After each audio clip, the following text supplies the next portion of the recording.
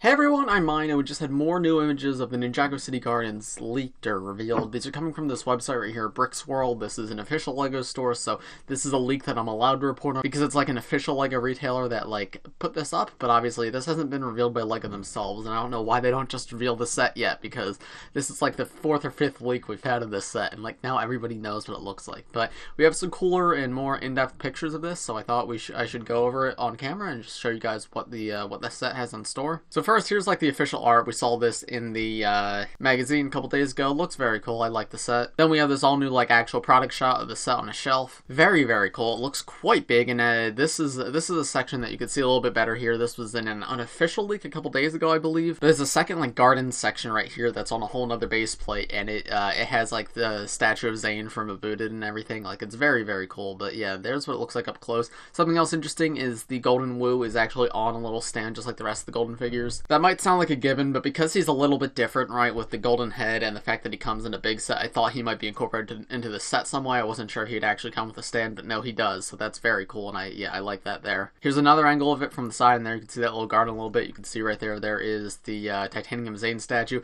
It's not perfect. It's got, like, the Praetorian Guard armor, and then, like, his new hair and no half mask, so it's not exactly like the statue looks in the show, but it, it could quite easily be modified, and except for the half mask, but hopefully they do release the silver half mask at some point. Pretty cool weapon for the mechanic right there too. I like that. Yeah, you can just get a better look at some of the build right here. Nothing all too like new or special, but it still looks very good. Oh, and it looks like there's like a 10 years of Ninjago panel right in front of the tree right there. That's pretty cool. Here's an up close look at some of the rooms. First is this little like arcade cabinet up here. I believe this says Street Ninja on it, Street Ninja 2, which I don't believe that was an actual game in the show, but still pretty cool looking design right there. It looks like it's like multi-dimensional too with the way they do the stickers. So I'm very curious how that looks, but uh, like in person. But I think this looks really cool from this image right here.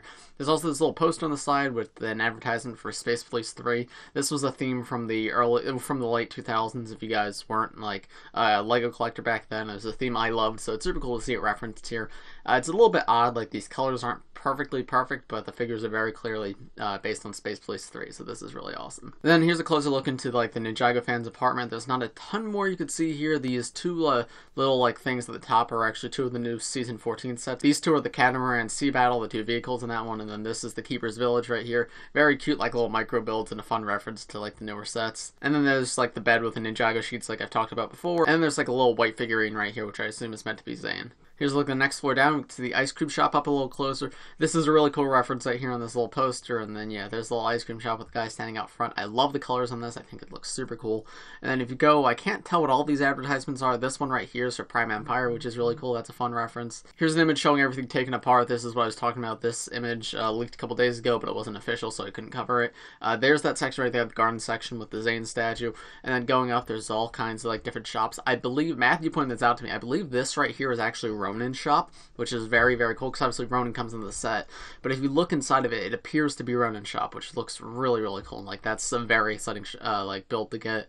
And then there's all the different sections coming up here. It looks quite good. This is cool. It shows the gardens connected to all of the other Ninjago city sets, the original, the docks, and now the new one, obviously. I'd be curious to see this connection from different angles. There's a few awkward things. The main one is right here, this like upper section on the, uh, this upper section of the docks, like does not connect to the upper section on the gardens, which is very weird. It's just like this tiny little thing that you can't reach. So I would have preferred if they connected in some way, but I guess you could put the docks on the other side. So I'd be curious to see like how you can actually modify this in person. But yeah, this like entire city looks very, very cool having all three of these together. There's a look at the box. Unfortunately, it's very low resolution, so we can't see it up any closer than this. And here's the back of the box, which again shows like some in interior to this, but it's very low resolution, so we can't really see anything new. And then here's just a showcase of the entire build. This set is huge and has so many minifigures. I'm genuinely so excited for this set. This looks amazing. And that's it for pictures. So yeah, let me know in the comments what you guys thought of all these new pictures, and hopefully LEGO officially reveals this soon, because it comes out in, what, four days?